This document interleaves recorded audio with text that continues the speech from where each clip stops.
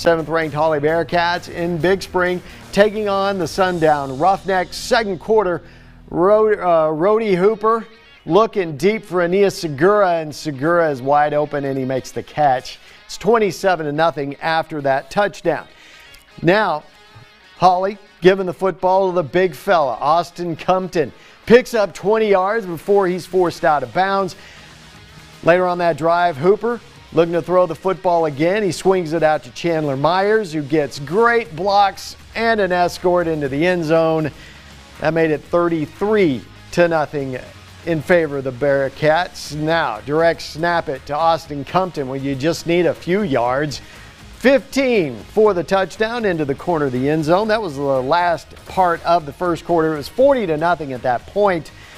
Hawley goes on to win this one by the final score of 40 to 22. The Hawley Bearcats now 12 and 0 on the season. Sundown finishes up 8 and 4.